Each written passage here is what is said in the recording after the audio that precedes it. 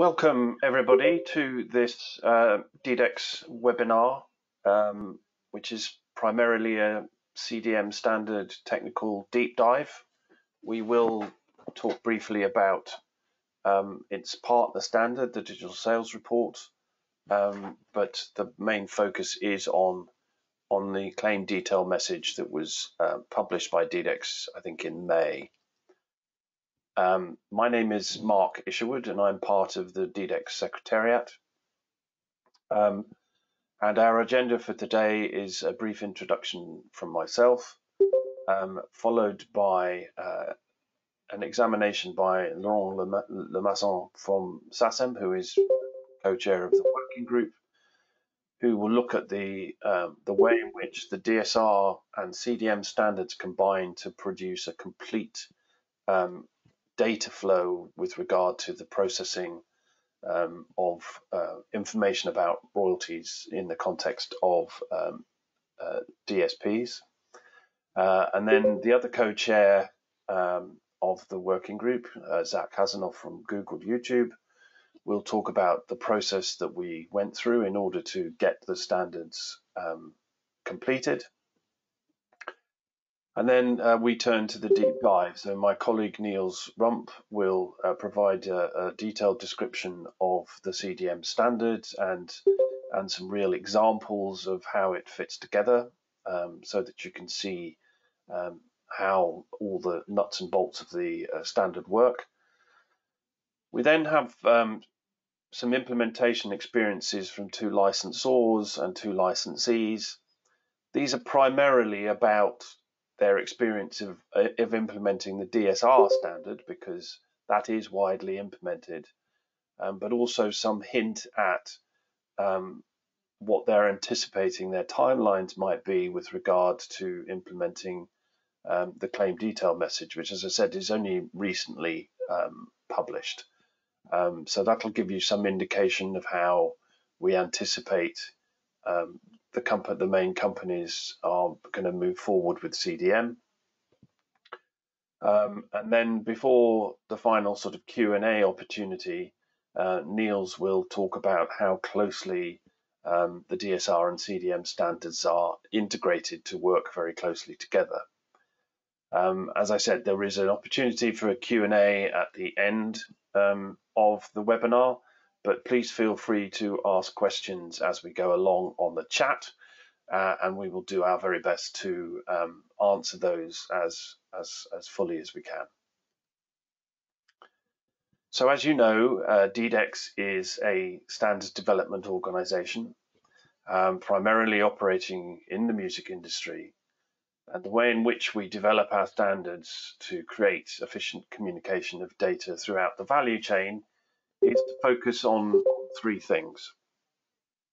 The most important is the development of standard formats, that is, the order in which the different data elements uh, that need to be communicated are set out in a computer message and how they relate to each other. Uh, we also then um, standardize the choreography, that is, the order in which messages flow and and who who sends what to whom, uh, and will provide things like triggers for when a message should be sent. And then finally, we define the protocols by which the messages themselves actually get exchanged. Um, up until the last three or four years, that has primarily primarily been through standardizing the approach in relation to secure FTP sites. But increasingly, um, the DDEX standards are turning to web services um, in order to automate the actual process of exchange as well. Um, and that we anticipate is something that will become more and more common with the DDEX standards as we move forward over the next uh, few years. So currently, uh, DDEX has eight families of standards. And what I mean by that is very often the standard is named by a, a, a single name, but it will contain more than one particular message format because it's actually a series of messages that need to be exchanged in order for um, um, effective communication around that particular business transaction. And so you see here the sort of key roles of companies that exist in the music value chain and the different colored lines between uh, each of them indicate which type of uh, DDEX standard message they would ordinarily exchange. Obviously, some of these companies could be exchanging three or four or more different standard D DDEX messages, um, but each one will um, be in relation to a particular business transaction that, that is being undertaken in those circumstances. Um, and um, and so the, the message is slightly different. However, um, we do have common building blocks throughout um, the DDEX standards, which we replicate um, throughout them. So there's a lot of commonality between the standards, even though there are some variances which are there to to a uh, to, to deal with particular uh, business or types of business transactions. And so the focus for our seminar webinar today are the two standards, the sales and usage reporting DSR and the claim detail message CDM. Um, the first of those is exchanged between DSPs and various different types of rights owners. So in cases of musical works, that could be a music publisher or a, an author's rights society. And in the case of sound recordings, that will usually be a record company, but may on occasions be a distributor acting on behalf of a client record company. And the CDM, which is the main focus of today, is really only for exchanging claim data between uh, authors' rights societies or music publishers and the DSPs that have previously sent them a DSR sales usage report. So that is our focus uh, today. Um, DDEX is now really uh, pretty ubiquitous. Um, we've issued over five and a half thousand implementation licenses, which would suggest that somewhere in the region of five and a half thousand companies intended to implement the standards. Unfortunately, DDEX itself doesn't have any information about implementations. We obviously know that a lot of our members have implemented the various standards, but beyond that, we don't have any um, uh, direct information. But what we do know is that um, no uh, serious company operating in this space is not using DDEX to some extent or another. The last thing, the last general point I would like to make is about uh, the data dictionary, which is really the beating heart of DDEX and all its standards. And it has become the lingua franca of the music industry. If you don't speak DDEX, um, it's not going to be easy to communicate um, with your business partners uh, unless you use proprietary uh, formats. Um, and increasingly, uh, companies need to be able to speak DDEX to be able to communicate with their business partners. The data dictionary contains all the semantics of all the terms of all the messages, but also it contains um, the structure of what we call common composites. So these are groupings of data points that help describe certain entities like a sound recording or a musical work or a party. Um, and these um, composites are used throughout the standards in a common way. Sometimes they're just slightly tweaked um, for special cases, but by and large, you will see these composites appearing um, throughout the standards uh, in different ways, being being used for different purposes, but nevertheless the structure of the composite remains pretty much the same. So turning really to sort of set the scene for um, what we're talking about and the importance of the DSR and uh, CDM standards. Um, the benefits of using and deploying these are that clearly DSR and CDM are worldwide industry standards. DDEX is a global organization um, with global members um, who have um, all input into the creation of the standards. Um, the DSR is, of course, already very widely adopted. Um, and the experiences that um, we have heard from our members is that both DSR and by uh, implication CDM are cheap to implement and maintain Um, and they're relatively simple to, to implement as, as, well, both for senders and receivers.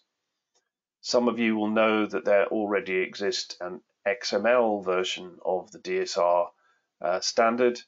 Um, one of the reasons we moved to um, a flat file structure um, was because the volumes using XML were becoming unmanageable.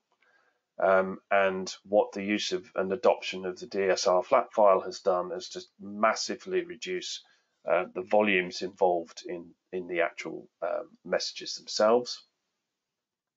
So as I said, we've moved to this flat file structured flat file approach. is much easier to ingest.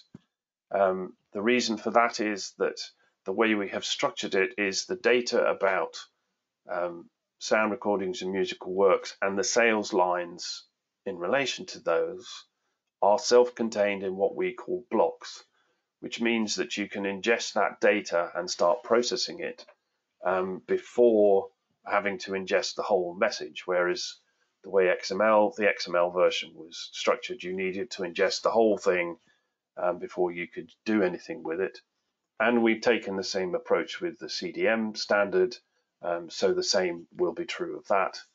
Um, we believe that both of them are structured in the way that there is um, plenty of flexibility for business partners to determine whether they um, exchange information only about uh, one business model or multiple business models.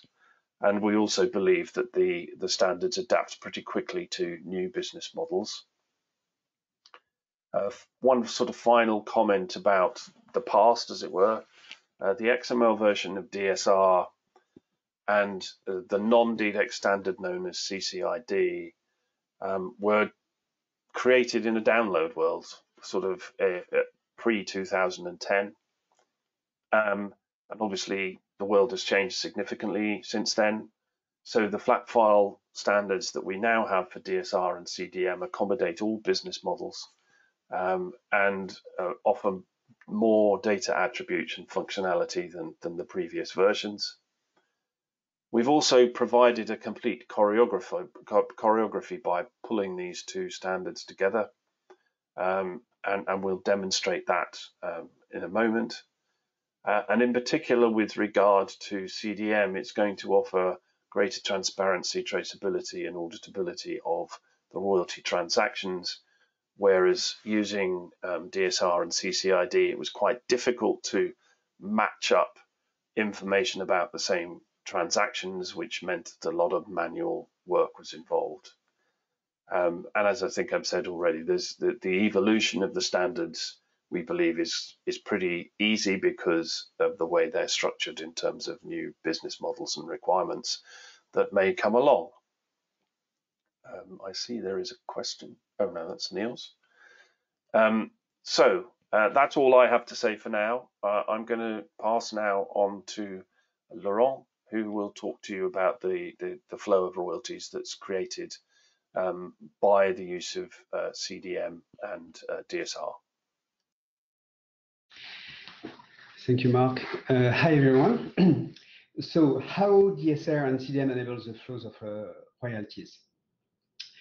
Uh, so uh, first, there are two standards.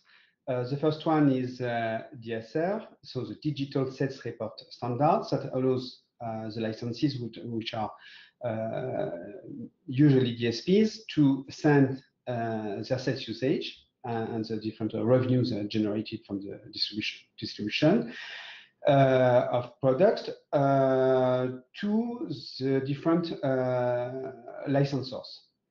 Uh, and the second standard is a CDM, so the claim detail message that in return allows the licensors uh, of, the, of musical works to uh, to claim uh, uh, and to, to, to send their claims to the licensees in respect of the works uh, used in the different in these DSR reports so what is the principle of this message? First, about uh, DSR. So the DSP sent to the right controller, uh, to the licensor, uh, this uh, sales report, where there are the releases, uh, the different resources, the sales usage information for the musical works, and the sound recordings and music videos.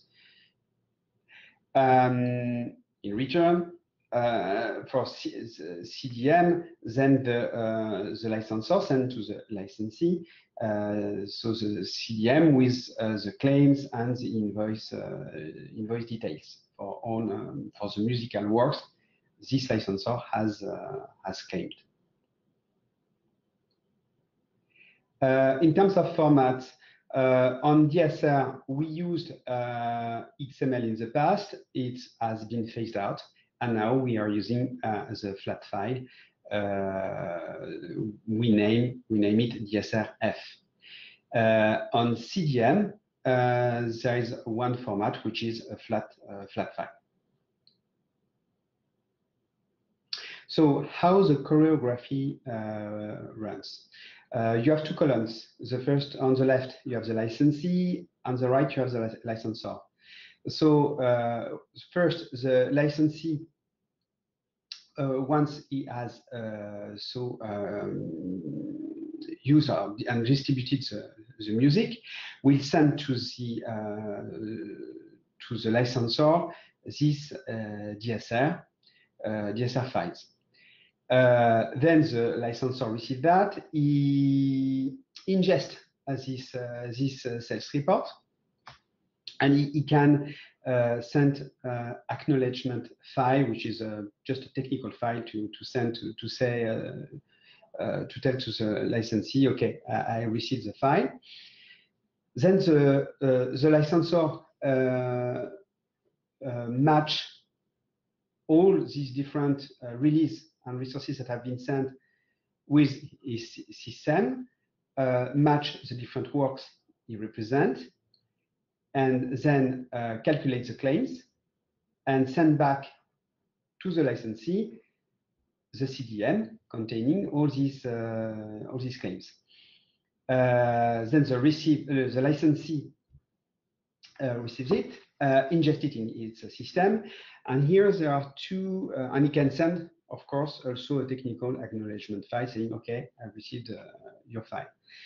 Uh, then there are two, uh, two let's say, other flows that are managed on, um, let's say, um, on a bilaterally, bilaterally bilateral bilateral uh, way between the licensee and the licensor.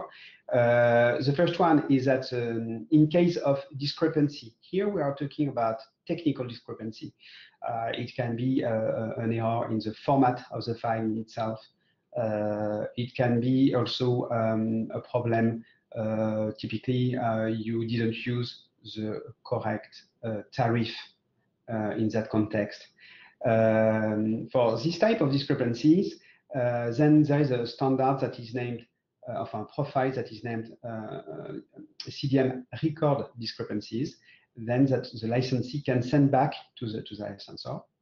And there is also a second profile that is named overclaim discrepancies that the licensee use in that case to uh, communicate to the licensors with a S um, when there are uh, overclaim, meaning when there are uh, some licensors who claim for the same uh, title, for the same release, um, and where there is uh, more than 100% that is claimed.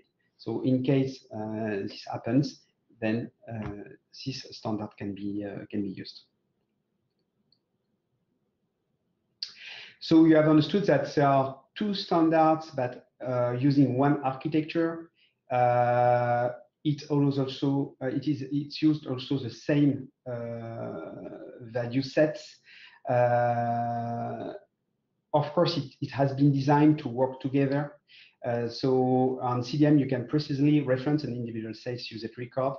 Uh, so yeah, everything is, of course, 100% compliant. Before we get to Zack, um, there, there's there's a question here. Uh, why did DDEX decide to develop CDM in the first place, given that we have other standards? Mark alluded to that um, a bit earlier. Is there anything that you want to add or could add to that?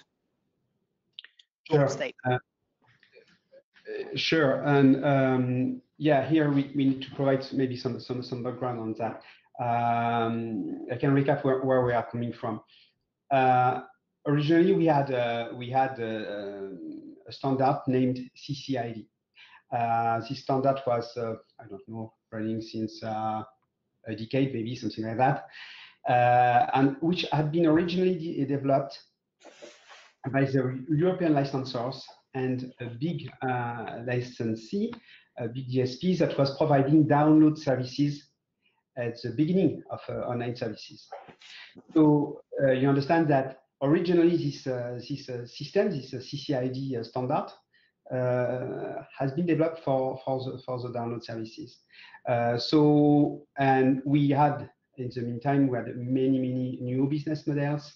Um, so uh, UGC business models, uh, subscription with a streaming, uh, audio tier, many different uh, business models. Uh, so we had to adapt uh, that. Um, another thing is that it was it was not also worldwide worldwide standard. Uh, because you had also uh, many other uh, standards used in some in some territories. It, CCID was not used only in Europe, uh, it was also used in other uh, continents, but uh, you had still some uh, specific formats in some continents and uh, some territories. Uh, so this was one, one main point.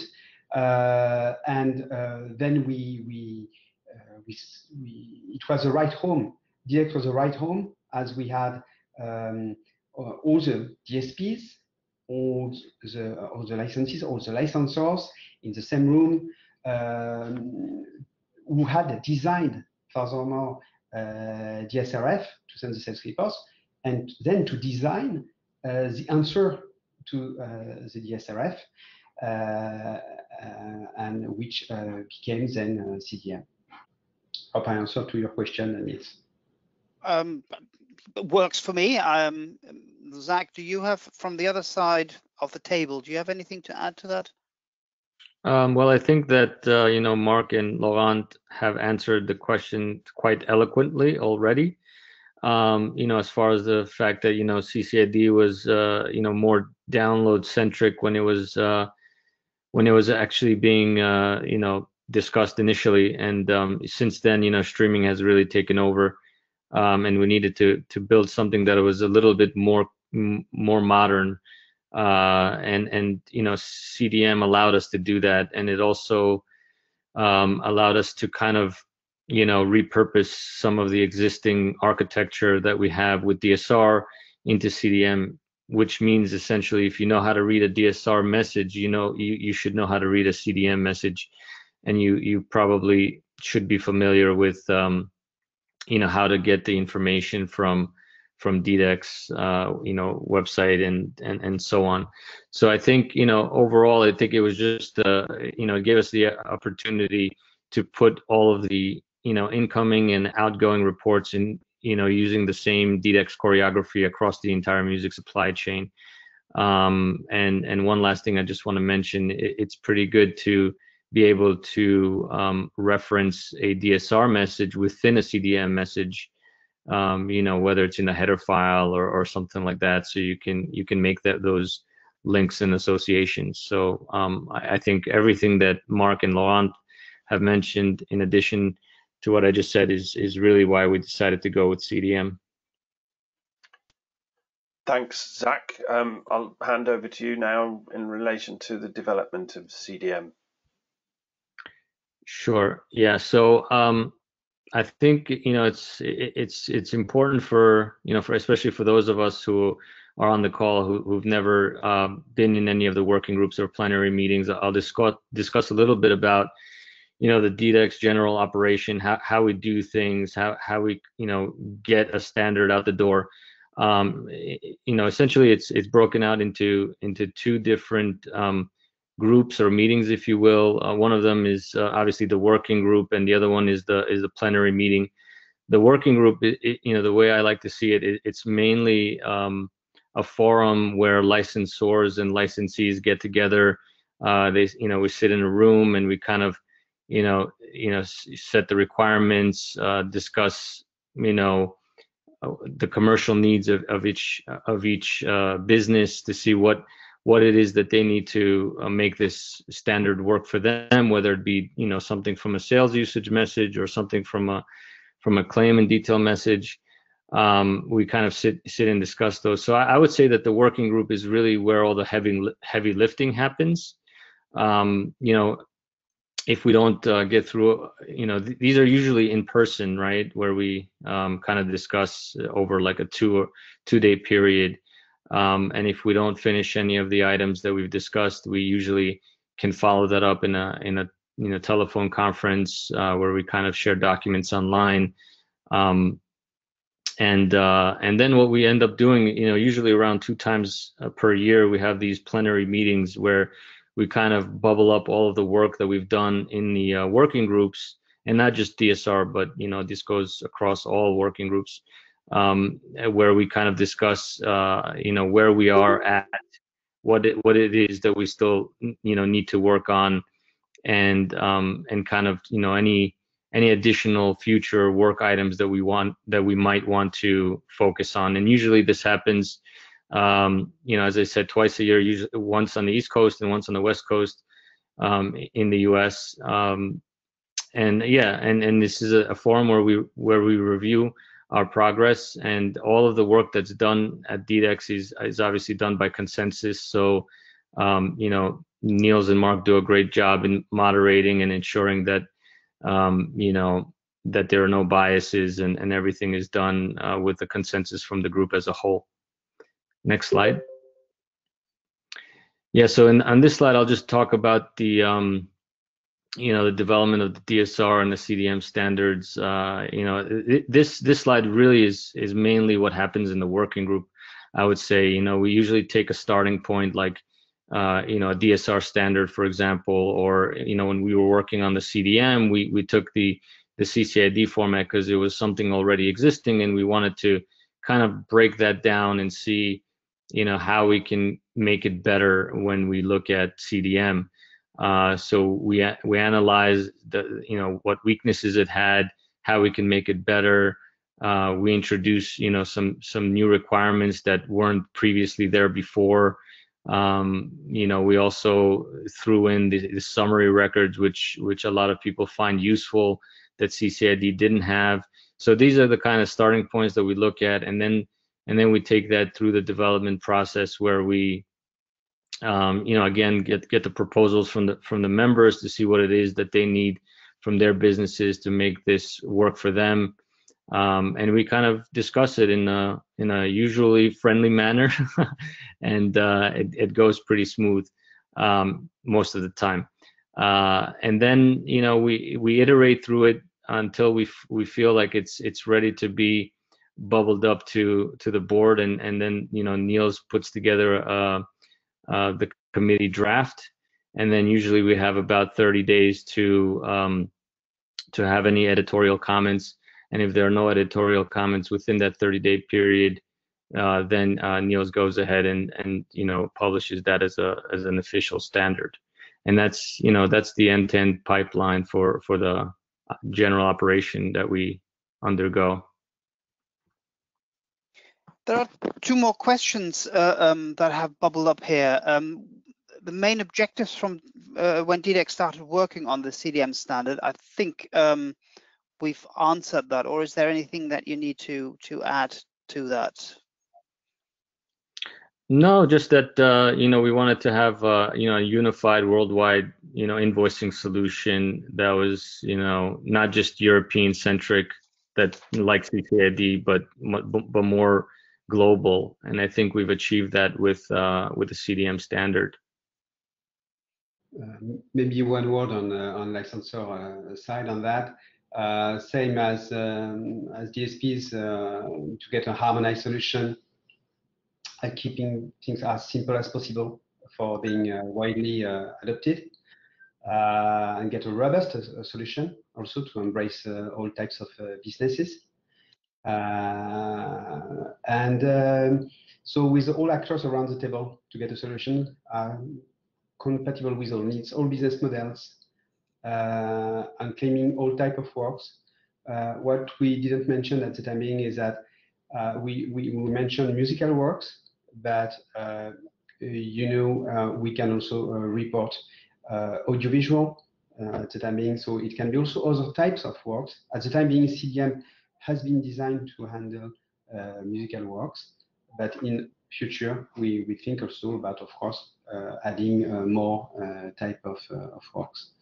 Um, and maybe all, all, what we said, get a, a stronger choreography, um, the possibility also to, to report updates on licensor side, um, uh, to accelerate accelerate also the flow, uh, typically to receive the technical discrepancies because at the time being when we send uh, when a licensor send um, a CCID, uh, sometimes uh, I don't know there is a technical issue, and then uh, the time to process it, to to analyze it, and to to check wow there is an issue and so on, it can take uh, days. Uh, here there is there are mechanisms that enable to to send back automatically. Okay, there is an issue, so then the licensor is aware about that. So yeah, many expectations to, to have something more robust, more industrialized, um, which is uh, great for everyone. Uh, uh, Zack has already talked about um, the process that we went through to develop those standards. Were there any specific issues in that development that we needed to address and tackle and overcome? Um, well, I, I, just think this is a general, uh, you know, issue uh, which is you know navigating you know the DDEX website whenever we have new updates. Uh, I, I, think I think that that's something that Niels you mentioned. Uh, you know, you guys are working on to to better improve for the future. But I think I think that's that's one of the complexities that that we found. Yeah, maybe one extra word on that is uh, yes. Also, we have, we have to find a we had some some difficulties based on uh, because we we we have always to find um, a good balance uh, between the, the business needs, which are of course uh, different. We have uh, actors uh, from all over the world, uh, different continents, so different needs. so this is, I would say, this is part of the game, and I would take this, the opportunity here to to thank you very much the the, the DSR working group and also the Secretariat for all the very uh, uh, good jobs that has been done, always very uh, positive, and to find, and we have always found, um, I think, good solutions to all these different changes. Speaking of good solutions, shall we have a look at the CDM standard itself, how it how it looks like and how it to some extent compares to the DSR standard? So Laurent has already um, talked about this overall choreography that we have. The CDM message, the main CDM message is where rights controller or administrator who has been in receipt of a sales and usage report doesn't have to be a DDEX DSR message, but in, in ideal circumstances would be one of those, and then reply back to typically the DSP with the claim and detail message but there can then also be a communication back. Laurent mentioned that, all of those um, discrepancies that a DSP might find in a claim or detail message that can be communicated back. And then in response to such a discrepancy notification, the rights controller or administrator may then want to send an updated claim detail message. And we have a slightly different format for those updates to the original claim detail message because we need slightly different information to be communicated there. These updates do not need to wait for a uh, for a discrepancy, but that is typically when they're sent. But it is also possible that a rights controller administrator just learns that um, they have more rights or less rights than they claimed last week, and they can then send an update proactively but typically it would happen in response to a discrepancy notification. we're going to hammer down this point um, uh, this afternoon or this morning. CDM and DSR are designed to work together. Um, they use the same architecture. Terminology across both of those standards. Mark talked about the um, DDEX data dictionary, which is so important to have a common nomenclature across the entire supply and value chain. Well, this is even more important when it comes to CDM and DSR because they need to work so closely to work to, together. Therefore, yes, we do have consistent and common semantics of terms between them. Very important, Zack highlighted that already, is the clear linking between a sales usage line and a claim invoice line. When you claim for a specific sound recording or a specific usage of a specific sound recording, then you need to be able to point to exactly that usage record so that when the DSP receives your claim, they can then say, ah, that's with respect to that line in the sales usage report so that in the end they can check do they have have they received for each individual sales line one claim or at least one claim or or have they received too many claims in which case they can then go and send a um, discrepancy notification. And also critical, um, CDM supports all the DSR profiles, whether it's UGC, whether it's basic audio, whether it's audiovisual, the CDM standard supports them all, with one exception, and that is the uh, reporting to labels, to record companies, because the claiming is uh, the claim and detail message is all about musical work. So record companies are of um, are not really interested in those, at least not in this context. Also quite interesting, uh, and one of those benefits of why it's good to have both standards maintained by the same body is that while we were developing the CDM standard, we realized that we were actually missing one important aspect, which uh, ends up in a new DSR profile, the master list profile, and that deals with what's quite often called pre-usage or pre-claim um, processes. I'll come and talk about that in a little bit. So the, the, those two bits, um, or those two profiles, or those two aspects, is is on this and the next slide. Traditionally, what happens is that a record company um, provides a DSP with material to sell, to make available, whether that's stream, whether that's download, doesn't really matter.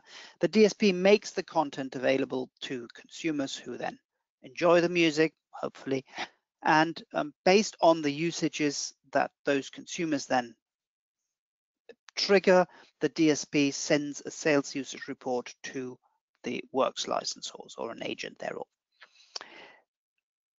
The works licensor then can map the information from the sales usage report into uh, to the data that they store in their local system or the works registrations that they have received and, and the likes.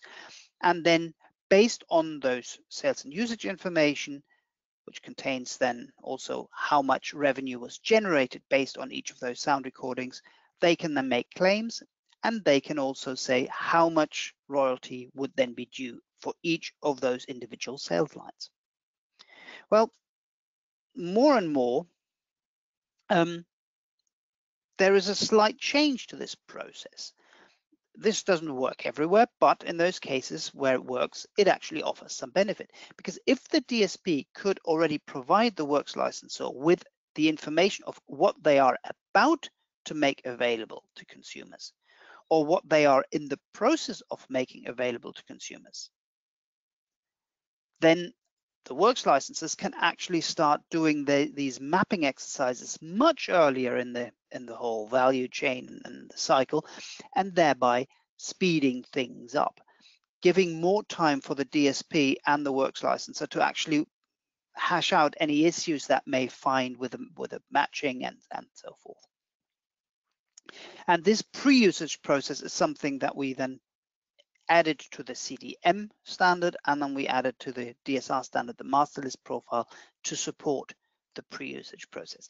Clearly, in a pre-usage CDM message, there wouldn't be any financial information because the DSP hasn't yet provided any financial information to the works license or in the first place. And that's um, the difference between the pre-usage and the post-usage CDM process. One contains financial information, invoice details, the other one simply doesn't. The other concepts that we needed to make sure we can cover, um, and they come out of the DSR, is the, the, the, differentiation between single and multi-context reports. Again, traditionally, reports covered usually one territory, one currency, one commercial model, one use type, and one service type, one service tier. So you had, I don't know, pay as you go downloads in France based on euros, and it's the student tier.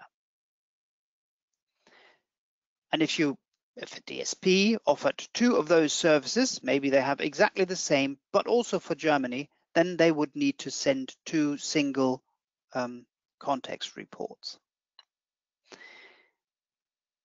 So there would then be two, what we call sales context, two reports. It does mean that a lot of the data is though duplicated, at least for pan-European licensing bodies, for example. And in this case, wouldn't it be more efficient to actually wrap those into one sales users file? Yes, it would. At least it would if both sender and recipient are actually able to, to, to process these because it is a slightly different setup for processing. So we enable the DSR standard to be able to deal with single context uh, sales and usage reports, as well as multi-context sales and usage reports. And we made sure that the CDM standard can also deal with those. It, by the way, does not mean that if you're receiving a multi-context DSR, that you have to send a multi-context CDM in response. Those could be split up in in single context um, slices, if you like. That all just depends on a bilateral agreement between the two parties involved. If they both like both messages in multi-context, great. But if one of them doesn't have the capabilities, then you can um, make it slightly simpler in the in the setup. You buy that with a little bit more data that needs to be exchanged.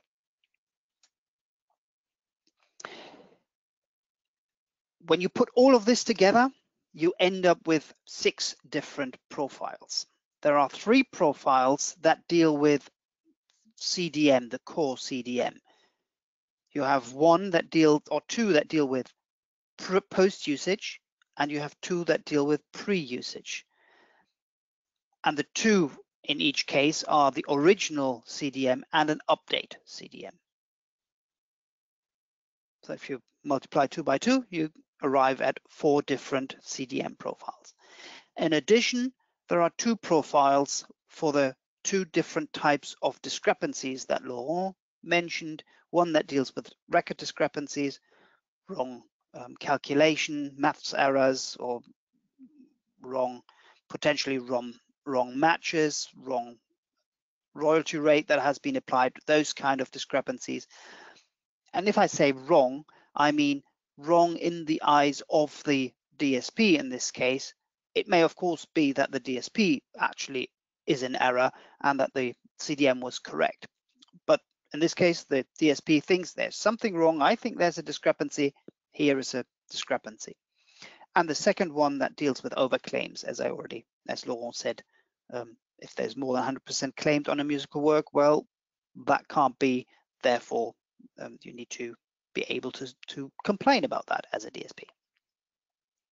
And because we can count and we start counting with part one rather than with part three, there are two additional parts, one that provides you with the architecture and one that defines the record types, the long rows that are actually in the um, in the tables. And last but not least, there is one part that deals with all the allowed values, the code lists. But because, again, we want to make sure that the DSR and the CDM standard use the same nomenclature. Well, we use the same part that the DSR part uses for all those allowed values. So that a, a pay-as-you-go model means the exact same in the DSR as well as in the CDM standard. And this is also one of the reasons why um, Zack quite um, correctly um, complains that the that the navigation on the knowledge base where all the standards are held is quite complex because you have um, 10 different parts for the DSR standard and five different parts for the CDM standard. Um, that gives you quite a number of different documents to handle and different uh, things to look at, which makes the navigation quite complex. But as he also said, we are in the process of hopefully making this much better in the future. Let me just briefly talk about the overall architecture that the files use. And this is exactly the same slide that I used last week when I talked about DSR, because it uses exactly the same um, setup. It's a tabulator separated value file, so you can just import it into any spreadsheet application, as long as the file is small enough.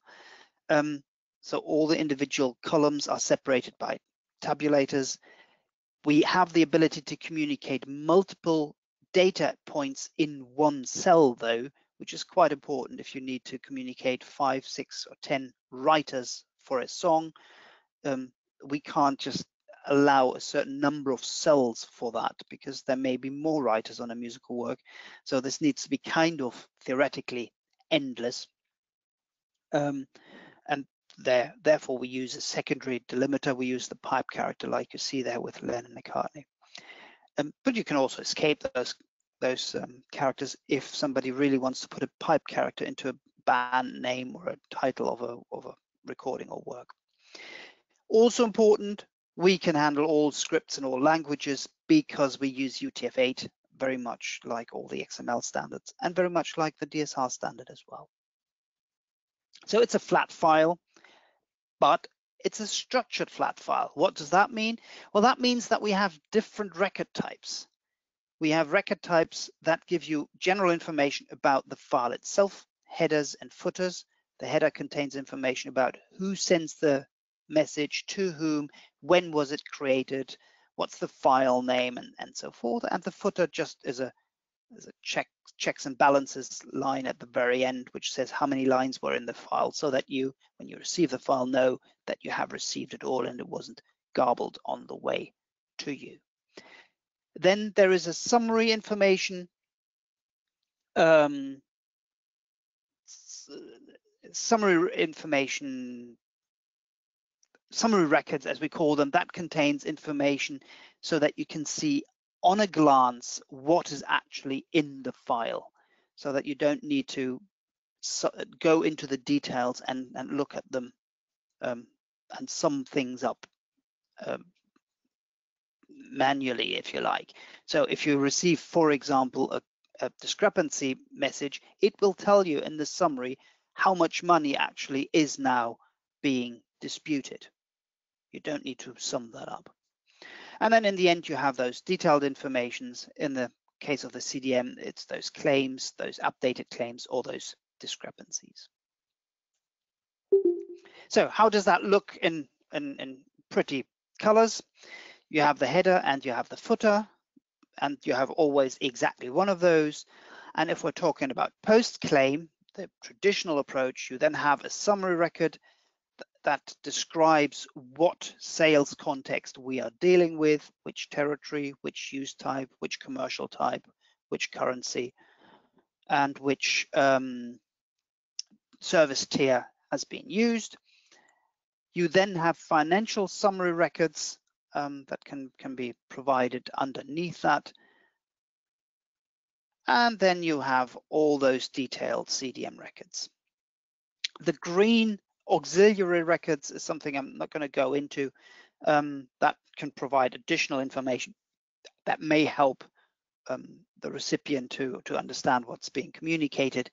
But the, the orange CD01, that's the claim detail record type 01, that contains the resource that has been used, the work that has been used, the rights claims made for the mechanical, for the um, performing rights, um, and, and, and amalgamated rate um, for the territory, for the specific right, for a specific time as per summary record. And then you can have um, invoice details, potentially how much royalty is being, being requested or is being calculated from that information.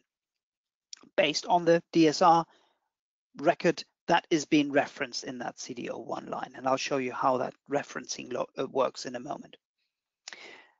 The pre-usage claim looks more or less the same, except that you have a different detailed records. Well, it's virtually the same re record. It's just cut, uh, cut at the end because you just don't have those financial royalty um, fields. You only have those fields that identify the work and that provide a claim, how many percentage and so forth. Um, and you don't have any financial summary record because hey, you can't because there's no financial information. Otherwise, those two um, specifications or those two parts are virtually the same. So if you understand one, you understand the other.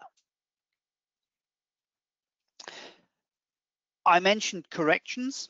In order to communicate corrections to both of those profiles, it's exactly the same uh, file. It looks exactly like that, except that you have different um, detailed records. So you use a record which we call CD02 instead of the CD01, and a record we call CD04 instead of CD02 for the pre-usage. And the only difference that those have, so CD02 has over CD01, for example, is that all those financial fields that can be updated in a, in a correction exist in three versions. What was originally communicated, what is now communicated, and what is the delta. So for example, I used to claim 50%, now I'm claiming 40%, so that's a delta of minus 10%.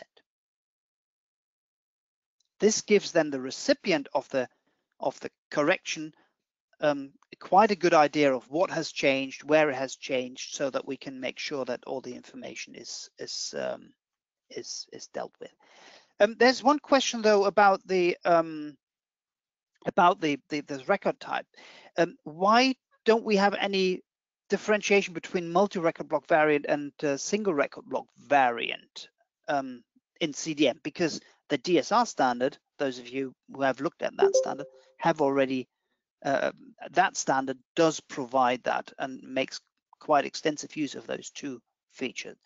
Uh, Laurent, do you want to to have a look at that, or, or can you give an answer to that? Uh, yes, uh, sure. Um, in this uh, CDM uh, webinar, um, we didn't explain why uh, we, we designed DSR that way. Um, one important thing to understand is that in the context of DSR, when we move to the to the to the flat file, we had also one thing in mind is that to facilitate also the processing, because originally uh, in the XML files you have first you had the uh, the metadata and then you had the sales information, uh, which was quite um, difficult for especially on the licensor side, because you had first to ingest the system and then to read it again for one simple reason is that because first the files were huge, and second because um, you, you, you need both information, metadata and sales information to uh, identify and calculate your claims. So uh, in the context of DSR, we, we, we create a structured flat file in order to answer to that need with, with uh, what Niels presented with the notion of blocks. Uh, now, in, in the context of CDM is, uh, is completely different. Uh, we, uh, the licensors, report claims re relative to one set line. So uh, we found simpler to, to keep it as a single row standard, as it was the case originally also for the CCID. Okay. Um, the other question that came up is um, how does the, the CDM standard mirror the structure of the DSR standard? Um, you talked about the, the, the multi versus single record block, but um, the, the overall structure, is there anything else to add to what I've said? one word is is that yeah CDM is a response as you all have understood is a response to a to a DSR so the structure has to to be completely aligned with DSR uh, and the varying business uh, needs required by the licenses that now are reported via the DSRF. Zack, do you want to add anything to this, or should I continue? Uh, well, I mean, I think I think we've uh, pretty much talked about it all, but yeah, I mean, you know, DSR and CDM are in lockstep with each other now, whereas whereas before it wasn't, you know, that uh, clear with with when when we had the CCID. So so I think I think that's the biggest takeaway that that you know we should we should uh, uh, you know have from this discussion. Okay, good.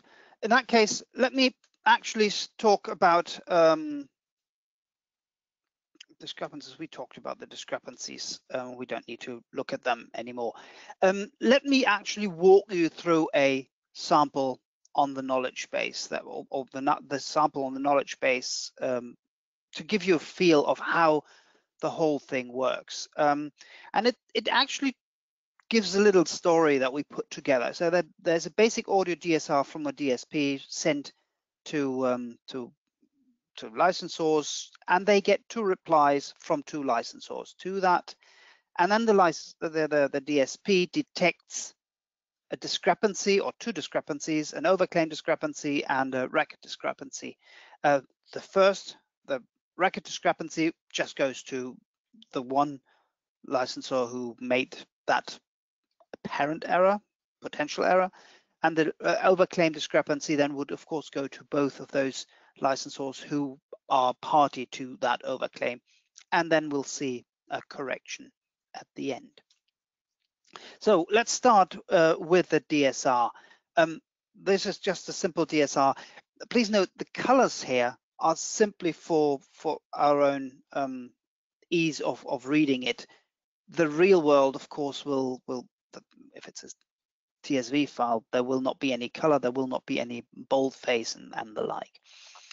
Um, also important, and the same applies to DSR as well as to the CDM standard, is at the beginning, um, use those lines with white background, they're all commentary. They're not formally part of the standard or the message, but they make reading the standard or the, the file actually much easier because you know, for example, that um, in the header record, the, the third column is the profile. So this is a basic audio profile in the profile version 1.1 and so forth. And the date time when the message was created was the 25th of October 2019.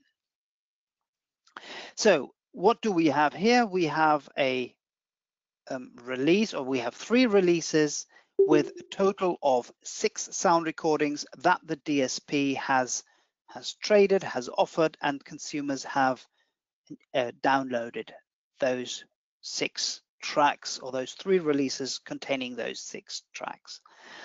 Um, please note that each of those sales and usage records, those, those are the light blue lines, has its own identifier. And this will become when we go back to the CDM message, because then they will be able to point to these six lines individually. So here is licensor number one's claim. I'm not going to show you licensor two's claim because it will look more or less the same, so it's kind of boring.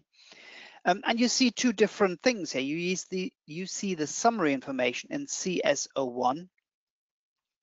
Um, you see that it's a the, the, the music streaming service of that company um, and it goes to licensor number one, and you have the identifier of licensor number one, which is the three, zero, one and so forth. Um, and at the very top, you have again the, the header information, which looks more or less like the header in the, the DSR message. It's slightly different um, for good reasons, but otherwise you'll, you'll recognize it um, when you see it. The footer is the same as actually the footer for the single record block variant of the DSR standard. Each of those records also has its identifier, and we will need them for complaining about this uh, CDM message. So when you want to send a notification about a discrepancy, you need to say which line has been um, are you complaining about? And you can complain about a summary record as well as you can complain about a detailed record. So that's why the CSO one as well as the CDO ones all have their own unique identifiers. And if we're going a bit further uh, along, you see that the title of the work that has been um, that that has been claimed, and you find six lines. By the way, there are six claims, one for each of the works, sound recordings or the works of the sound recordings that were in the DSR message. You see the writers, and there you see, for example, Brian Wilson and Michael Love for Good Vibrations. Um, that is one of those cases where you have two data entries in one cell you have their IPI numbers. And if we're going further along, you see that the share mechanical is provided, the share uh, performing is provided, and a blended share is being provided for mechanical and performance. And then, hey, there is, those are the percentages claimed, and there you have the sales transaction ID that we have in the sales report. And if we would go back to a couple of slides before, you will realize that those numbers were exactly the same numbers that you found in the light blue records there that describe you the individual sales and usages. And if we then go, go further, because this is a post-claim case, you then um, have information about the revenue that has been generated based on those recordings and the revenue information um, to, to calculate the royalties on. And at the far end, you then have the invoice details. If this whole thing would be a pre-usage scenario, those claimed amounts and what we've just seen on the previous slide, that would simply not be there. That, but that's the some difference between the pre-claim and the post-claim or the pre-usage and post-usage um, approach. Otherwise, those records are actually the same. But the DSP who received that record, that report, rather that CDM report, wasn't really happy about it. They found some issues with it. And here is now the discrepancy. And it's a record discrepancies that are being uh, complained about. And CDD1 is the, the record that deals with record discrepancies. CDD2 is the record that deals with overclaim discrepancies. So here we're dealing with record discrepancies. There is the ID from the um, CDM message that I've shown you a bit earlier. So you now can see that the, the last of those CDD1 lines, for example, discrepancy 105, those also have their own identifiers, by the way, but this uh, discrepancy 105 is with, the, is with respect to the sixth line of the CDM message. And if we're going a bit further down, we see that here is something that is different. Um, and I'll just go for the for the third line now. Doesn't really matter. Uh, the third one there has a the value found in the claimed amount at the very left of 40.42 but they expected a value of 20.21. So the difference is 40. Well, somebody can't. Oh no, the impact is 40.42. Sorry. Um, because the, the potential um, value is 40.42. So you would typically, I guess, use the, the value found in, in the impact. So if this whole um, claim would fall to pieces, then there are 40.42 euros at stake. Now the licensor um, would know that um, there is something wrong with the claimed amount in that one um, record or at least that the DSP believes that something is wrong, because 40.42 may very well be the right um, amount.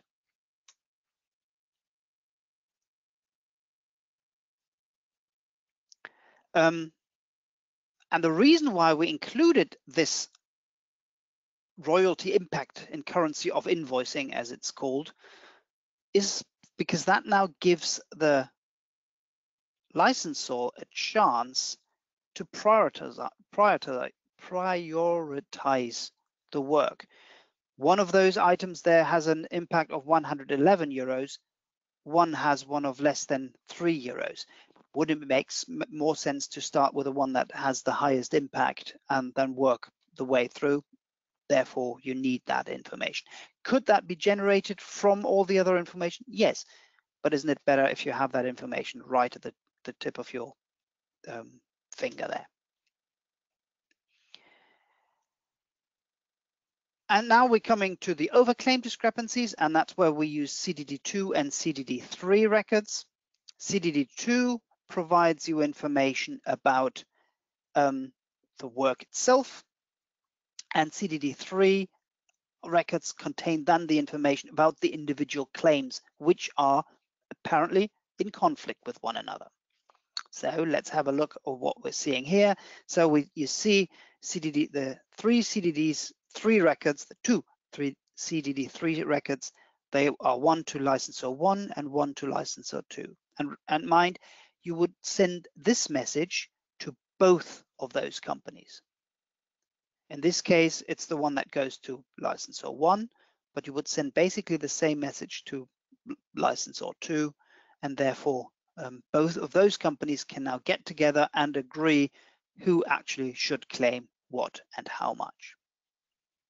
So it's an overclaim, as you can see, bang in the middle of the of the of the screen and the dark blue line, and it's not being paid as things stand because that's the policy of the DSP. They don't pay if there's an overclaim, and they can signal that to both of those parties and saying, you need to sort that, otherwise there is no payment. Um, all subject to the overall agreement between the, the parties, of course. Come on, move. Um, and when we're looking at the far end, we see that licensor one actually claimed 60% for Barbara Ann and licensor two claimed 50%. That's more than 100%, um, therefore um, the overclaim. Um, and then the, the correction or the update, as I said earlier, um, it's the same as the original uh, record. So CDO2, which is the update for um, post usage, is like CDO1, except that if we're going further to the to the right, you see that, for example, the exchange rate now appears thrice. You have it as how it was originally, uh, not, not the exchange rate, sorry, the share claimed mechanical in this case. You have it as originally claimed, as corrected, and the delta. So if we're looking at the very last line there, it used to be 120, it is now 100, and that's a, an impact of minus 20. So that was the whistle-stop tour of how the, uh, the CDM standard looks like. Thank you very much, Niels. Um, we're now going to uh, go on to um, hear from some members of DDEX about their DSR implementation experiences and what their plans are um, to the extent they exist with regard to CDM implementation. So I said right at the beginning of the webinar, we have two licensors, uh, Laurent, who you've um, seen already, with two hats on, uh, his SACEM hat and also his Armonia hat, and I'm sure he will explain that and then David Butler from ICE Services, and then secondly, uh, Zack, who you've already heard from uh, from YouTube, and Chris uh, Bly from Apple. Um, so I'm going to hand over first of all uh, to Laurent, um, and um, he'll talk about uh, Armonia's back office experience with regard to uh, DSR and SACEM's expectations going forward with regard to CDM. Uh, yes, so uh, maybe one word about uh, Armonia. So Armonia is a pan-European hub um, making online music licensing, and also um, a single stop shop for DSPs to process the online rights. Um, I work in copyright, so I have to mention here that uh, these slides have been uh, prepared by uh, my colleague Jacques Lopez from BMAT, with our partner in uh, in uh, Armonia to to process uh, the files. so the main advantages I will mention here are in the context of DSR. These slides have been prepared when we last week we presented um, DSRF. Uh, so uh, in the context of DSR, the main uh, advantage and, and advantages are first the implementation effort that has been reduced uh, compared to to XML version. Uh, it is uh, really simpler. furthermore, there is a linear reader with a structured hierarchical schema uh, this is in echo with what I said before, uh, that, you know, we have in DSRF, we have blocks of information that combine uh, metadata and sales information. So this was really a, a big win. Um, corollary, uh, the memory footprint also is uh, negligible. This is a consequence. Um, so uh, no big amounts of data to be stored. Um, and the processing time uh, of the reports uh, has been highly reduced between uh, 5 and uh, 10, 10, times, which is also uh, linked with the um, also the size of the files that have been also highly reduced mechanically because we have no more the, uh, only the tags were representing roughly 80% of the volume. Uh, and as um, Niels mentioned it, we, we have also this multi-context aspect that in some cases can also reduce uh, reduce the volumes by really more than that. Um, one also other advantage, which is uh, technical, is uh, also parallelizable, which is uh, also really really useful when you receive at the same time many, many files. Uh, one uh, other point we wanted to mention is the, um, the fact that there is a tool to validate uh, the files, which is very useful, especially when you implement the, the, standard and you want to, to be sure that your DSR is uh, compliant uh, with the specification. Uh, you can use this validator tool that is a, a free tool that is on GitHub and that has been uh, developed by, uh, by Google. Uh, it works, let's say, it's similar to a schema file when you had XML files in the past. Um, just a few format highlights. Uh, first one is a release, release uh, reporting. So within a single block, you can report, report uh, um, all combinations of the different uh, resources. So this is something uh, that uh, very powerful. There is also a single resource blocks that reduce volumes and processing time. It's in echo with, especially for streaming services, where it's even more globalized, let's say. Uh, and uh, there is also uh, a third point, which is a more complete UGC metadata uh, with uh, DSRF. Uh, so to, to ingest, to manage UGC content. Um, one word about integration status. At the time being, we process uh, 15 DSPs uh, in production with uh, DSRF. it runs from the original version, which was the 1.0 to uh, the 1.2. Uh, you know, we have released uh, 1.3 very recently, but this is normal. No, no one has adopted it yet, as I know, which is because it's very recent. Um, next slide, please, Mark. Um, and this I think is very interesting. You see, it's uh, sorry, on my screen it's too small. I cannot see the years, but I think it runs from it was 2019 at the end and 2015 at the beginning.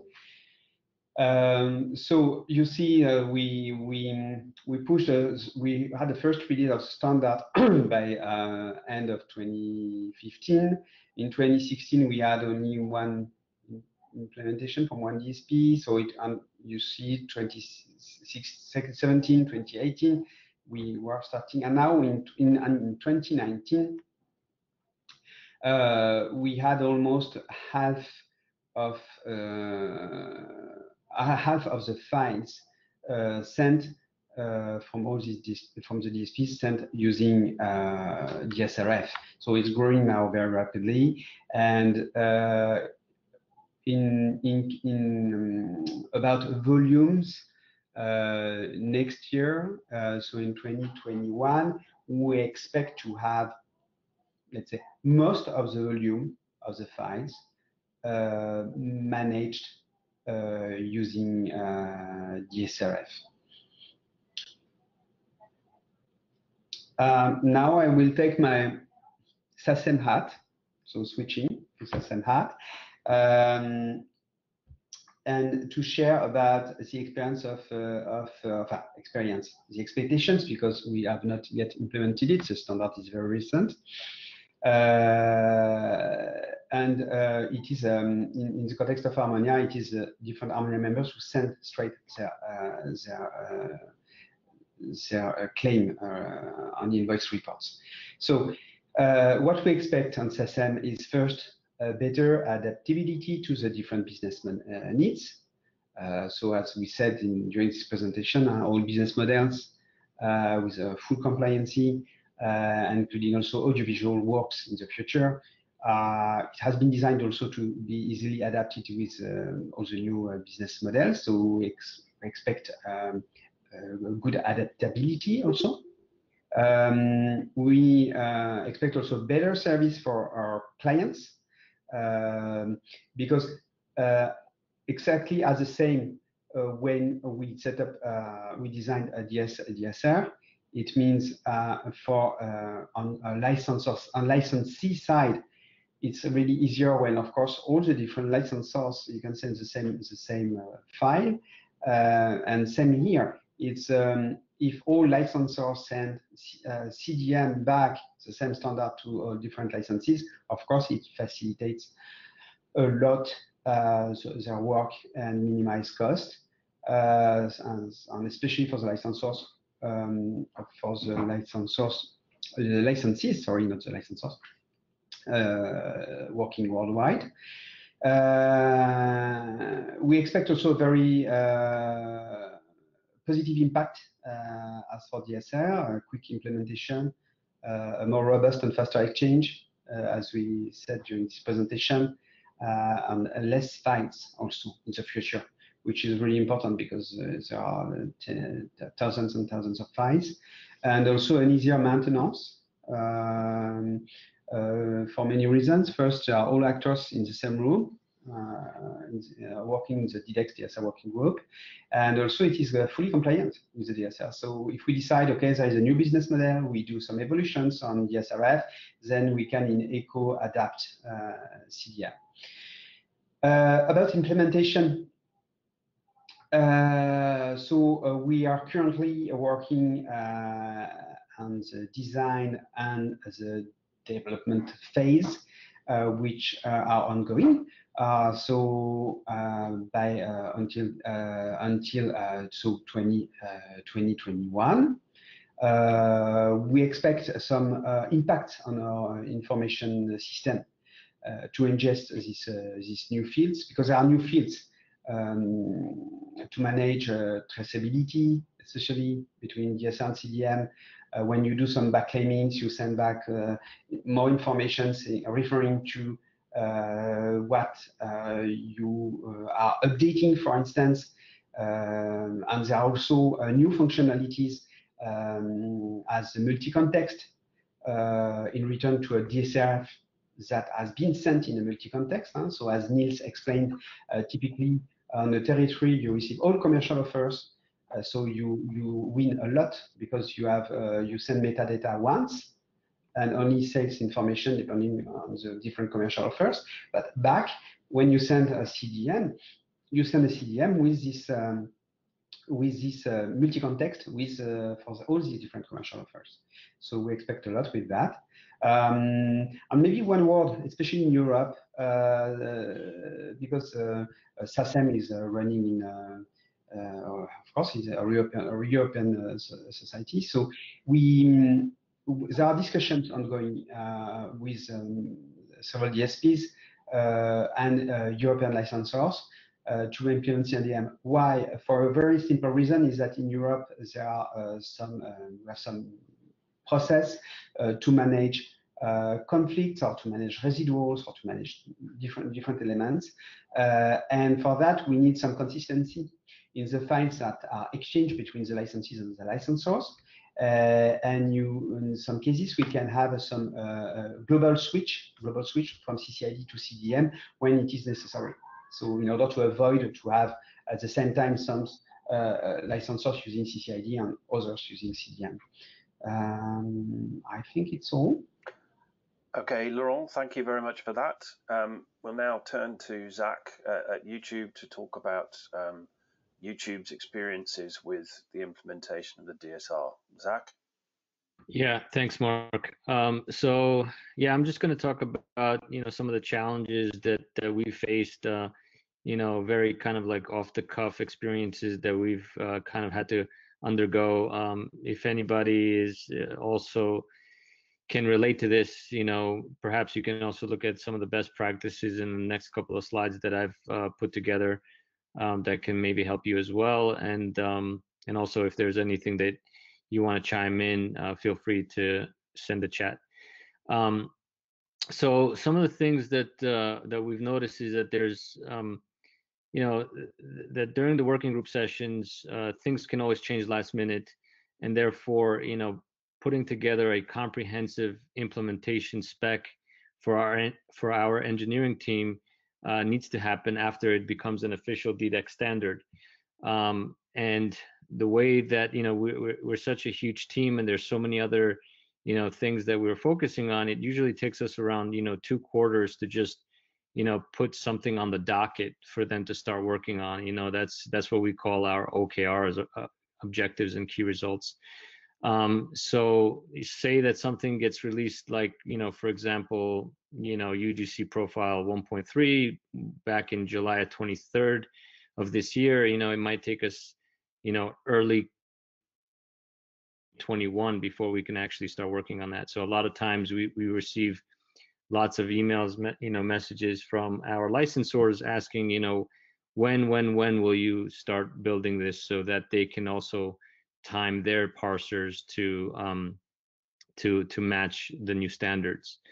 Um, and then, you know, another challenge is that uh, the documentation on the DDEX website, as I mentioned earlier, it's it's quite difficult to you know just simply tell an engineer yeah you know just go ahead and implement 1.3 on the uh, and go find it yourself on the DDEX website. They will they will get completely lost. They will not know what to do and, and therefore I think it's it's good that you know I represent YouTube at DDEX and it and it's kind of like I'm the point the point man to kind of uh, handhold and tell them you know what needs to be actually implemented and and so on. Um, but aside from all that, what I also do is I put together a, a summary of changes, um, which I'll discuss in, in, the later chapter, in, in the later slides, that kind of talk about all the different changes that has been made to the standard since the last update that we've submitted. Um, next slide, please.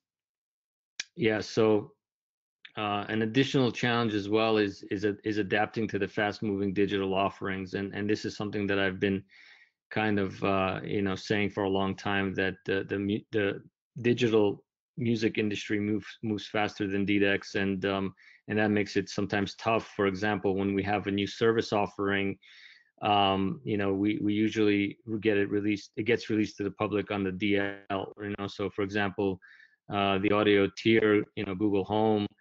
Um, we released it back in April, and uh, we needed to have it, you know, ready for reporting by May. So um, that makes it difficult because, um, and this is April of last year, by the way.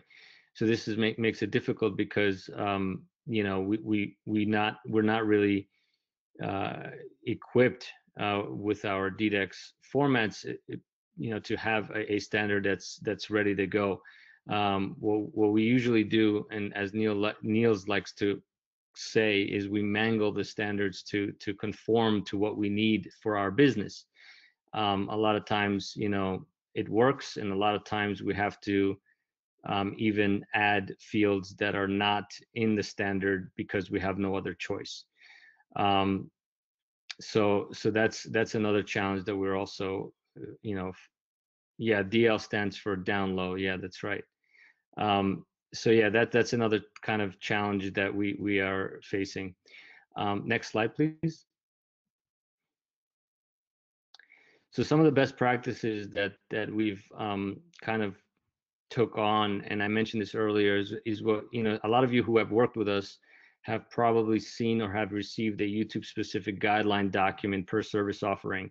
So what this document essentially does is it it's kind of like from all of the noise that you can get from the DDEX website that may not be relevant to you.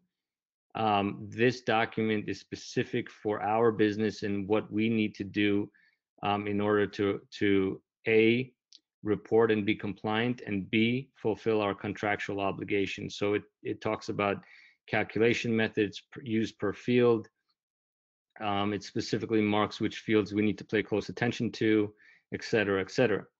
Um, in addition to to that we also put together um, an internal dsr viewer um, which which compiles the massive files into a visual user interface so you can you know, we, we found this to be um, good twofold. One for, you know, it helps us check for inaccuracies. Um, uh, it also helps us navigate through massive files if we want to look for a particular asset type. If you don't mind just scrolling to the next slide really quick, I, we can, you know, probably talk about that. So if you look at the bottom row, the, uh, the, the very last thing at the bottom, it says jump to line, and it also has like a search text search text or search next in there. Um, it, it, also uses regular expressions. So if you want to look up a particular asset, you can easily find it using this tool. Um, one of the things that I wanted to um, mention also is that I'm working hard with internally to see if we can make this publicly available on GitHub. Um, so so once I you know get approval for that i will let you know niels and mark know what's the status of that. But we found this to be very helpful also during our development um, to check for any inconsist- inconsistencies between for example detail records and summary record and summary records and and uh, just making sure that everything looks tight and proper and ready to go before we deliver it. And i think that's all i have Okay, Zack, thank you very much indeed. Um, we're now going to turn back to another licensor uh, in the form of David Butler from ICE Services. So, David, over to you. Hi, thanks, Mark. Um, I'm I kept mine relatively simple. I mean, I can only underline what other people have said. So the the, the detail of what that they've covered, I, I, I agree with. Um, for those who don't know, ICE are a processing hub. We process um, on behalf of several major publishers and also on behalf of our shareholders, that's PRS, Stim and GEMA, the UK, Swedish and German PROs. So the first benefit was really sort of decommissioning any legacy formats that that, that, that existed there. Um, everything that has been said before, the reduced file sizes compared to XML, the, the faster processing time, there's sort of less room for interpretation compared to XML. These are all great benefits in the DSR um, things like standardizing the terminology in, in um, DSP proprietary formats, those kind of things. Relatively easy versioning of records. So if party A and party B want to exchange a field, but we don't need it, it seems to be easy for us just to ignore it. Um, and new business models that come along, they seem to be relatively easily uh, catered for. I mean, there's some discussion goes on, but we usually we usually get there in the end. Um, we have about 12 DSPs, I think, in our system who've reported in DSRF, different services. Um, three more, I think, planning to move, actively planning to move. Many more sort of smaller companies sort of preparing test files, that kind of thing. It, it's version 1.2 of the DSRF is a standard format we send out in a kind of welcome pack. Um, so that it's been relatively well received. Even companies who uh, would rather send an Excel spreadsheet when they actually look at the DSR, um, they can usually produce one um, relatively easily. So next slide is more about CDM. So um, yes, we're going to produce CDM. Uh, we want to do that in for usage in quarter one next year. Uh, we've raised a change request, so our IT department know it's on their plate. We've finished the detailed design, and uh, we're just waiting for a developer to free up to start building it. Um, uh, phase one, we kind of divided it into two phases. So basic CDMs for pre and post usage. Uh, in quarter one, that might change, it might slip, but roughly early next year.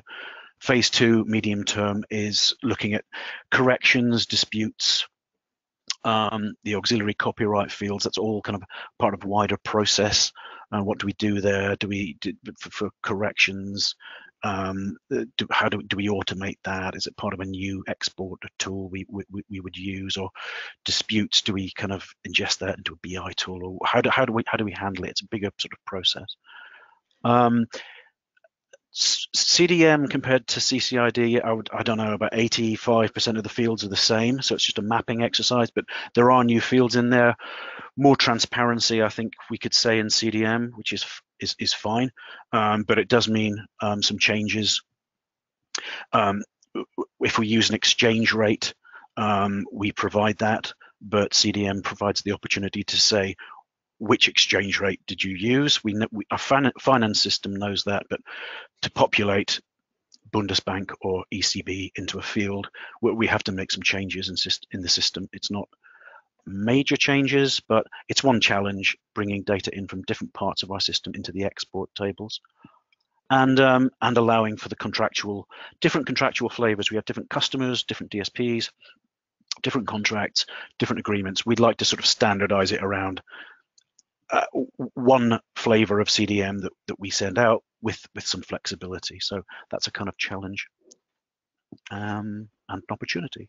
So I think that's it Okay, David, thank you very much indeed.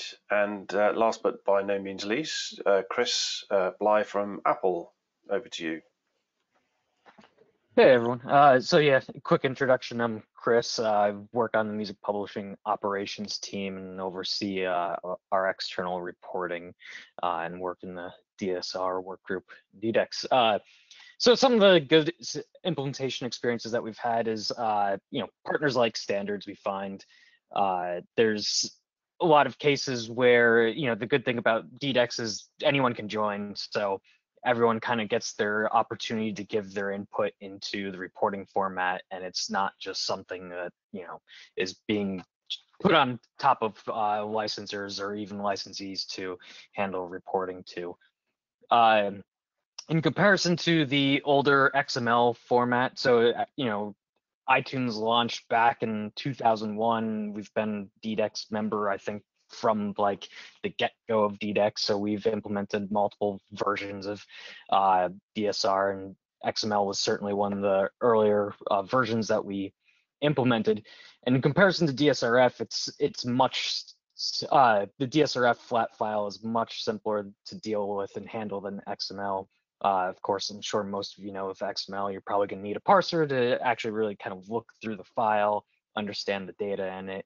Um, and the nice thing about DSRF of how we implemented it is within the work group is that you can open it up in Excel and it's human readable. So it makes it much easier for testing aspects. So if your testers aren't uh, technical, you know, they can easily just open it up in Excel, look at the data, ensure that it looks accurate to what they're expecting to see. Uh, and it's definitely much easier to use. As well as in comparison to XML, there's a huge drastic reduction in uh, file size alone. So some of our files that I've kind of looked through, in about a one gigabyte XML file, you'll be able to report roughly 450,000 resources, you know, give or take uh, what you're including in the data and everything. Whereas comparison to uh, a DSR file that is DSRF file that's one gigabyte, you know, you can report almost roughly 4 million resources. So you get almost a 9x increase in the amount of data that you're actually able to report in there, which is definitely helpful as uh, platforms have moved more to a streaming context, which certainly has a lot higher transaction and a lot more resources that are being utilized compared to the older download models. Um, so some of the challenges that we've seen is, you know, just getting it on the roadmap for development is difficult. There's definitely the aspect of, you know, it's not broken, why fix it? Uh, if you don't have that business need, why in, incorporate this? And uh, this is definitely, I think, a two-way street. I see it as, you know, if you're going to implement a new version and you're a DSP, licensors may be like, yeah, we don't really, we don't have plans to implement it because we don't see it fitting our business needs necessarily. Uh, and the same can go for DSPs of, hey, well, you know, this version doesn't really change anything for how we're reporting. Why implement it? So there is definitely an aspect that you'll probably have to maintain multiple versions in some cases. I think licensors especially have to deal with this as, you know, there's certain DSPs that will be on older versions, other DSPs will be eager to implement newer versions and so on. Uh, you know, standards move slower than the business, as Zack kind of uh, brought up with, you know, some of the YouTube aspects is, you know, there's times where, you know, the business moves very quick, but uh, the standard isn't there yet. Uh, an example of this that we had with Apple was when we were moving, as the work group was moving to create the flat file version of the DSR, uh, you know, Apple Music was launching and we didn't have a standard that besides XML to actually report the data in which XML was not really a method that we wanted to go towards for reporting a streaming service. Uh, so there's definitely times where you're you, where you're going to have to kind of you know work out and come up with an intermittent solution to report your uh, reporting to be able to meet your reporting uh, deadlines and everything due to the aspect of how the standards move compared to the business. Uh, another challenge is, you know, Zack also alluded to this is it's not as simple for just take the standard and give that to your engineering team and have them develop it. Uh, there's definitely aspects of, you know, the definitions and terms that your engineers maybe use internally are not always going to match the same definitions and terms that uh, DDEX will use.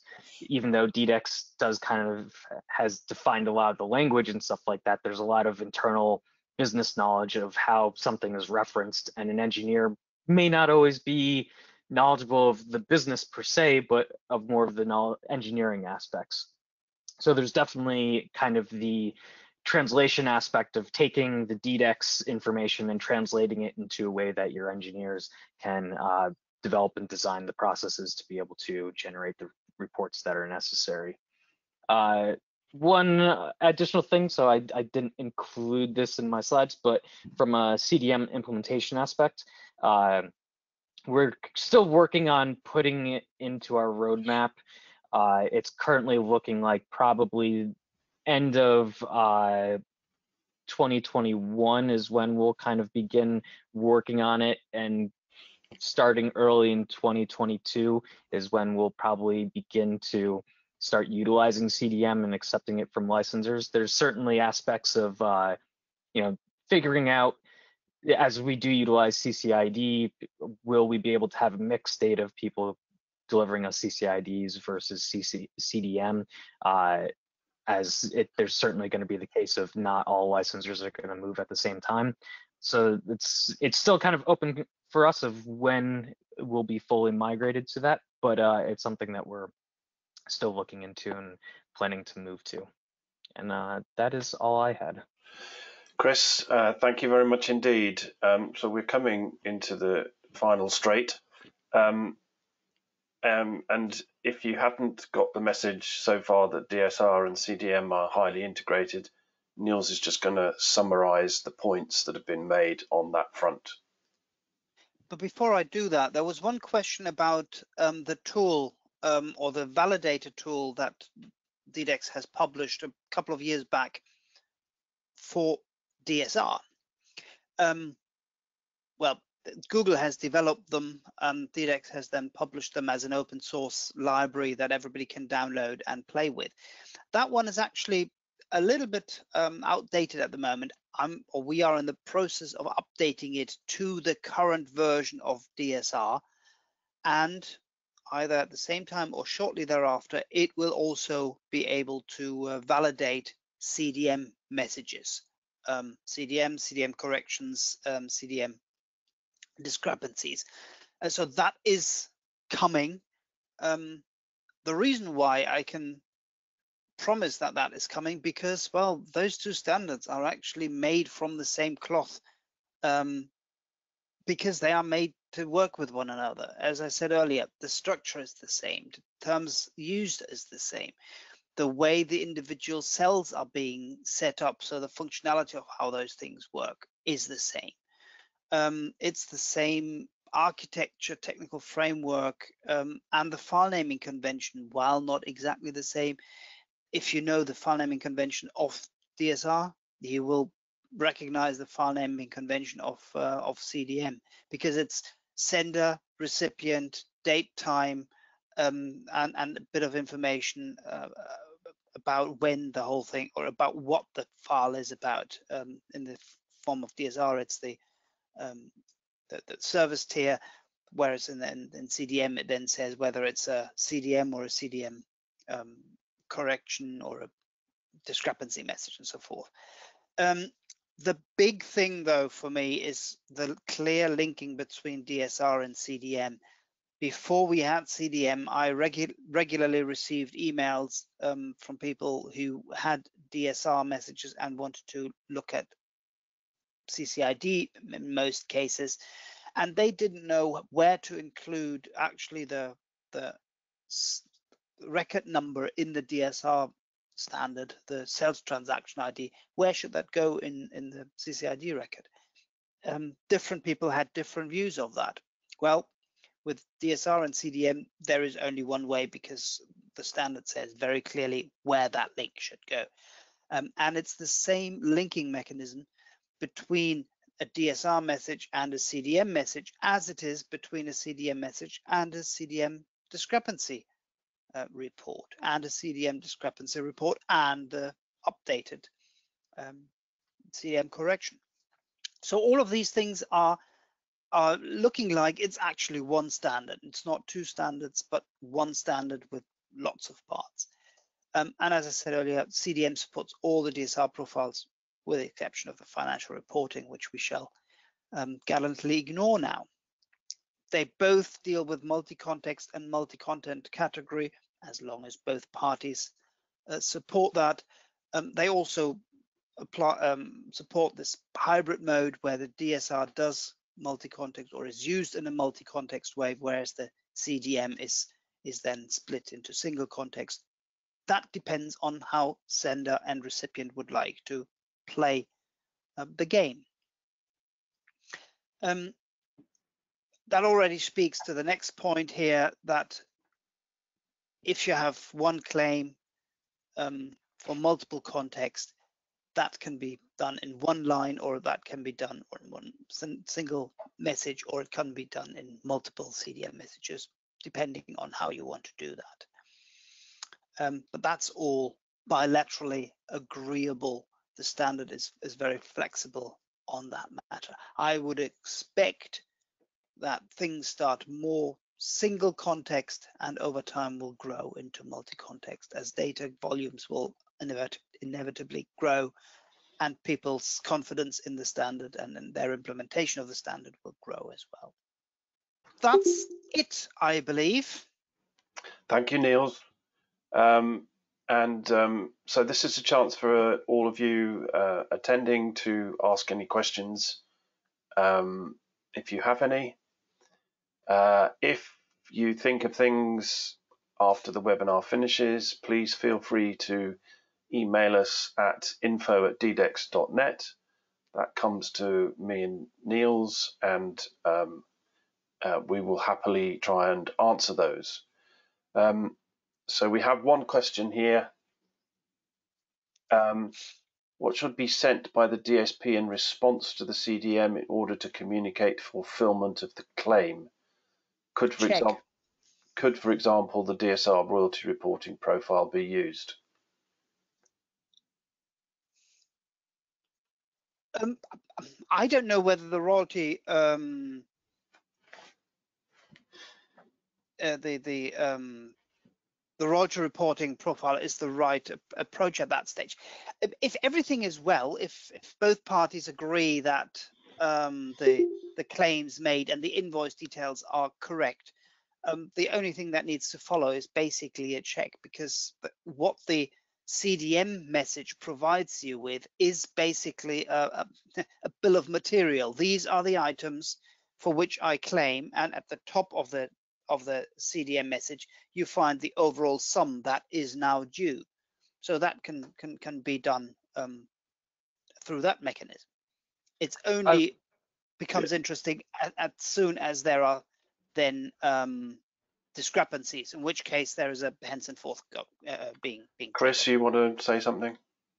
Yeah, Niels kind of finished what I was going to add in was I was going to say generally after a DSP would receive a CDM, if there are any discrepancies, you would then send that information, which generally most likely there will be in cases of overclaims across multiple licensors. That's it's a rare case that that never happens. So you'll definitely have uh, that case, assuming you're working with a licensor that is working off of basis that they don't pay over 100% on any claim or anything like that. Uh, but otherwise, I like I would agree. I don't think the royalty reporting profile would be accurate because that is more to specify, uh, like almost reporting to a publisher, especially give more like the U.S. context where uh, you're not giving a DSR file to a uh, to a publisher. You're generally saying, here's your statement of royalties and what we're reporting to you that would go through now soon to be to MLC, but previously HFA or MRI for mechanical royalties. Thank you. Uh, any other questions? In which case, um, I'd like to thank the representatives of the DDEX members who've um, helped with this webinar. Um, unlike myself and Niels, they work at the coalface and have to deal with this stuff every day. So hopefully you have found um, the comments that they've provided helpful in in uh, in you to to uh, work for your own experiences as far as these standards are concerned. Um, and um, so we'd like to say thank you uh, for participating in the webinar. Um, and um, we hope you found it helpful. Um, have a good whatever is left of the rest of your day. Thank you very much. Thank you very much. Bye bye.